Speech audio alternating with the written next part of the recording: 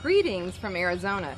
Today I'm in the tiny town of Oatman and it's actually on Route 66. Route 66 runs right here in the middle of it. And this town was carved out here in the Black Mountains by some very determined miners over a hundred years ago. And one of the things that I think makes this place probably one of the most unique towns on earth is because they actually have more wild burros that live here than people. That's the truth. It's the craziest thing. But um, how it all happened is when they had prospectors come here looking for gold, they brought with them their burros. And then years later, when they stopped mining here, well, the miners left, but the burros, I guess they wanted to stay. And these furry little residents are a lot of fun. They roam up and down the street. You can feed them. They certainly entertain the tourists. They're very friendly and fun.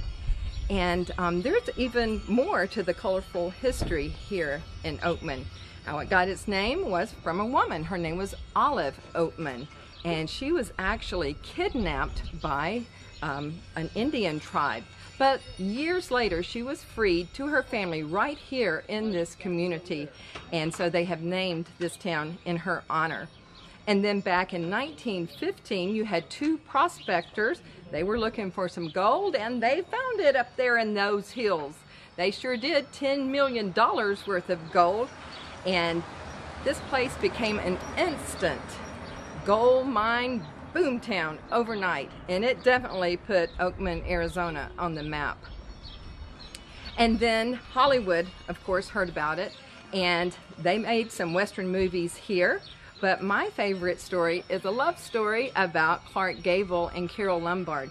They got married down the road there in Kingman, but they came here to Oatman for their honeymoon, right over there at the Oatman Historical Hotel.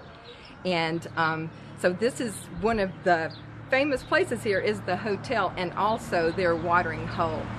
This is really an authentic old Wild West town. I mean, they still have the wooden sidewalks, they have stage gunfights, they have the gold mines, it's also a ghost town, and then they have the burros that walk up and down the street.